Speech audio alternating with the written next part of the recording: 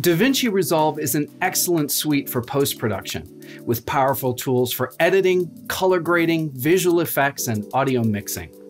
The recently announced DaVinci Resolve version 17 adds over 300 new features. Let's take a look at a few of my favorites. In the color pane, there are new HDR grading tools that will work well with SDR footage as well. Your familiar color wheels are broken up into six new zones, plus a global wheel for overall control.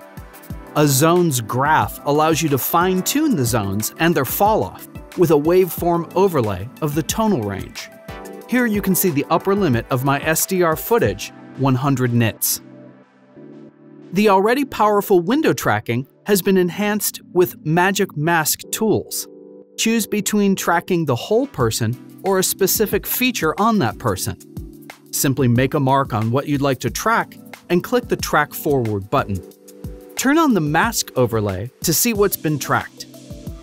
Now I can relight the subject's face with minimal effort.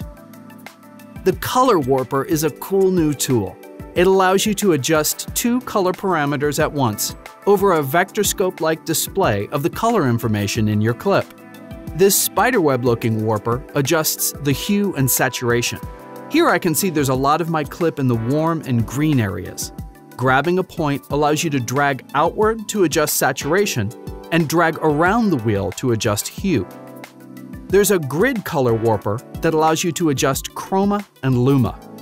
It's a new paradigm to learn for colorists, but feels really powerful, yet natural when making adjustments. The Edit pane gives you a new smart reframe function when changing aspect ratio for different social media formats. The DaVinci Neural Engine will analyze the footage and reposition it within the frame so you don't have to do it manually. Another great feature for colorists and editors is you can now do scene cut detection in the Cut and Edit pages. This function finds cut points in a flattened file and breaks it up for you for color grading or further editing.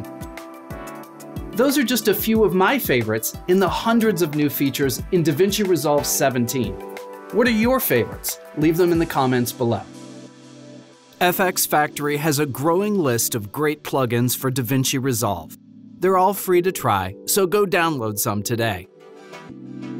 FX Factory offers a huge selection of great effects. And if you don't have them yet, I suggest you go try them out at fxfactory.com.